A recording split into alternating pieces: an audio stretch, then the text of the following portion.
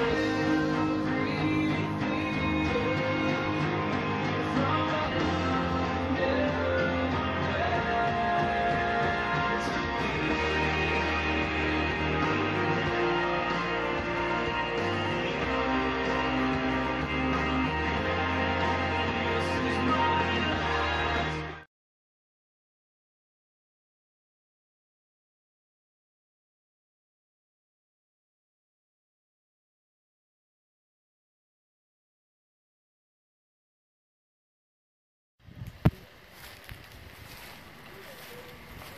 Alright, so finished it.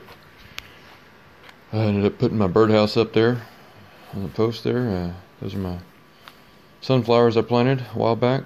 Gonna have three big sunflowers there. That's a Southwest County Road 2360. Uh, what were them? Now here's what I did. I made a little garage door cover thing here.